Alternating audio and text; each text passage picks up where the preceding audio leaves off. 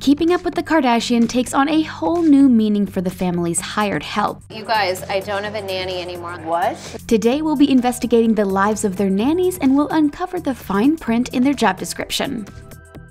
The audition process. To become a part of the Kardashians' inner circle, you have to do a lot more than just handing in your resume. Before anything, the nannies have to get an extensive background check to make sure they don't end up with a Fran Drescher type who falls in love with the head of the house. After multiple rounds of interviews of being strictly vetted, the chosen few candidates must undergo an audition in front of the family to make sure they're the right fit. They are evaluated for their personality, intelligence, and even sense of style. If they make it through this, it's just the beginning of the challenges they must face. The kids must be dressed to impress. As we all know, getting a kid ready in the morning is a challenge, but for the children of the Kardashian family, it's on a whole new level. Not only do the children have to be well groomed and put together, they also have to be wearing the latest brands and trends to upkeep their fashion icon status. Because the parents are often releasing new lines of clothing, the kids act as little walking advertisements. On top of that, the girls often look like miniature copies of their mothers, so the nanny must take into account that they're also striving to dress a fleet of mini-me's. By signing on to this job, they're also signing on to be part-time stylists. They can't wear jewelry. In 2016, Kim experienced a traumatic experience that would change her life forever. While visiting Paris, her sisters went out for a night on the town and she decided to spend the night alone in her hotel. And then I saw two guys holding another guy down they tied her up with plastic cables, taped her hands and legs, and robbed her of her diamond ring and other expensive jewelry. In total, she said they took around $5 million worth of her items. Ever since the traumatic experience, she has been cautious about flaunting her riches, and as a result, when her nannies are on the job, she instructs them not to wear jewelry should they become a target. All work, no play. As soon as the nannies sign their contracts, they are basically signing up to live a life where total availability is paramount and freedom is non existent. There is no steady schedule, and therefore they must be prepared to drop everything last minute should they be needed. If they've got plans, tough luck. The Kardashians come first. No photos, please. For a family that is so heavily photographed, you might be surprised to hear that the nannies themselves are strictly forbidden to take photos of the children. No! If they had any unsightly pictures on their phone and it was leaked to the press, they could have a field day. Say a child was acting out or there was a video of one of the parents scolding the kids and it was taken out of context. The media would eat it up and publish it on every gossip column they could get their hands on. Therefore, the parents make sure that they have complete control over who takes the photos and how they get used. Walk the walk. One of the strangest rules that Kim has for her entourage is that they must be instructed where to walk when they're in public. Imagine first getting the squad washed, dressed, and fed, and then told that while walking from point A to point B, you also have to make sure they stay in line. It truly sounds like something out of the sound of music. Rumor has it that she likes her squad to make a V formation behind her so that she can remain the center of attention at all times. Passion for fashion. While we know the kids have to look their best at all times, the nannies are no exception. Through all the chaos of juggling the family's wild schedules and wrangling the children, they must maintain a high standard of fashion and always be presentable. After all, while they're not center stage and getting all the attention, they still end up photographed by proxy and must represent the family at all times. Zip thy lip. While it may seem like we have total access to everything that happens in the lives of the Kardashians, what with them constantly posting on every social media platform imaginable, there is a lot going on behind the scenes that the family would rather the press didn't get their hands on. Therefore, before accepting the position, each nanny must sign a confidentiality agreement stating that they will keep their lips zipped. They must agree that anything they see, hear, or witness while working for the family stays within the mansion walls. Payment. Kylie Jenner is en route to becoming the youngest self-made billionaire ever. After launching her cosmetic line, she made a handsome 360 million in sales over the course of only one year. Her sister Kim is not doing too bad for herself either. It is estimated that after the success of her KKW beauty line, Kim's net worth equaled around $370 million. We can safely say that all five sisters are doing pretty okay for themselves and are sitting pretty with their accumulated wealth. So knowing this, you would assume that the nannies make a pretty penny working for these women, right? As it turns out, there has been some speculation over how much the hired help actually gets paid at the end of the day. After the Institute of Global Labor and Human Rights launched an investigation over the clothing lines K-Dash, Shoe Dazzles, and the Kris Jenner collection and discovered that the workers were being paid less than 10 cents per garment, we're at the very least skeptical about the nannies' salaries. Be on call 24 7. As we know, to be a Kardashian nanny means having an unpredictable schedule, but it's actually worse than that. They must be available around the clock. If they're living in the house like any nanny, they have to be prepared to answer to the kids waking up at night, so therefore never get a truly restful sleep. Rise and shine. In the morning, they have to be up before anyone else rises so that they are prepared for what's to come. If they're off site, they must have their phones on them at all times and be ready to go when it rings. Like a Boy Scout, they must always be prepared. Maintain distance.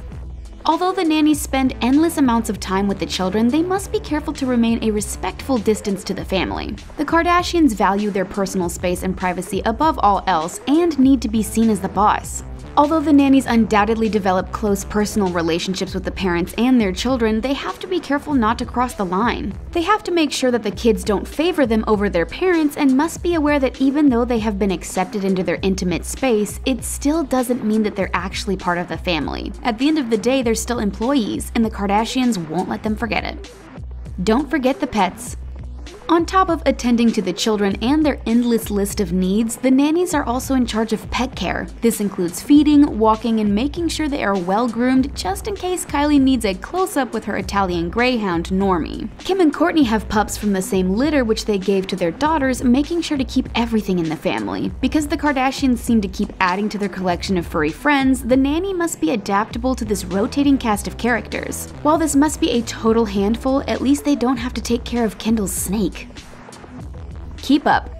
Not only do the nannies have to change diapers and be a human snack bag, they also have to make sure the kids are well behaved during interviews, premieres, and photo shoots. There are countless highly broadcasted events that the children must attend, and it's up to the nannies to keep everyone in line. The family also hosts numerous glamorous parties, which takes all hands on deck. Whether it's their yearly Christmas soiree or a big budget baby shower, the Kardashians need someone who can keep up with the madness and be ready for anything. Strange requests. We all know that some of the Kardashian women have diva tendencies, which might mean the nannies have to cater to their every mood, but on top of that, they must be prepared for strange requests. Guys, I don't have a nanny anymore. What? It could be a late night food run of something highly specific and hard to find that one of the kids is craving, or it could mean using your arm as a testing palette for Kylie's new makeup. We know that on Kanye's rider, he has requests ranging from having Carmex chapstick to sun-kissed salted pistachios, so we can only imagine what he wants at home. During his St. Pablo tour, Kim posted a photo of alcohol-infused slushy machines in his dressing room, and we can only assume that his strange tastes and requests get even weirder in the privacy of his home. Be clean, if you're working for Kylie Jenner, you better be on your A game. She is a known germaphobe, so the nannies must wash their hands frequently and make sure Stormi follows suit. Apparently, when her daughter was born, she had a very strict guest list of people who were allowed to visit. She was insistent that everyone around her was healthy as a horse to ensure Stormi wouldn't catch anything. We wouldn't be surprised if part of her nanny's uniform was wearing a utility belt prepped with hand sanitizer and wet wipes. Fly sky high. While at first it might seem glamorous to board a private jet and accompany the families on vacation, for the nannies there is no relaxing getaway. Before the holiday begins, they must help everyone pack their multiple suitcases and double check that nothing is missing. Unlike being at home where everything they might need is a call away, when abroad, they must be extra prepared and get the lay of the land just in case someone might need something they forgot at home. Though they get to travel to exotic places, they are the ones that must run the ship while the clan soaks up the sun. Be formal.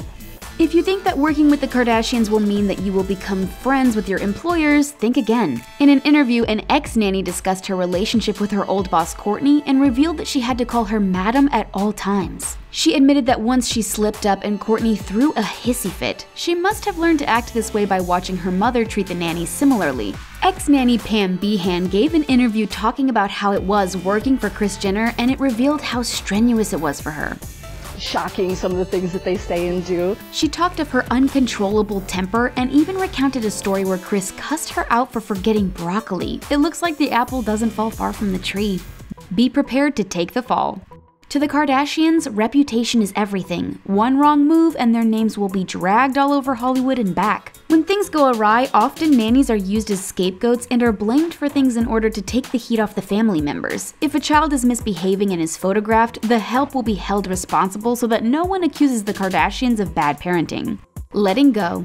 As any nanny experiences, it is extremely hard to help raise a child and then have to let go when the child has grown. Sure, they might eventually get a wedding invite down the line, but after putting their own life on hold and shaping the kid's life at the early stages, the nanny has an expiration date. They work day and night to shape the kids into the people they will become, but at the end of the day, they need to let go. No claim to fame.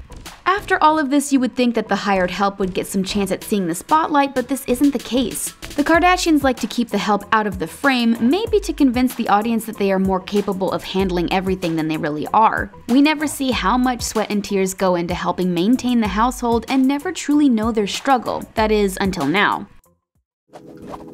We hope this brought a little insight into the lives of the people who make our favorite reality TV show a reality. Out of all of these rules, which do you think would be the hardest to follow? Was there anything we missed? Let us know in the comments below. Thanks for watching and don't forget to like this video and subscribe to TheTalko for more.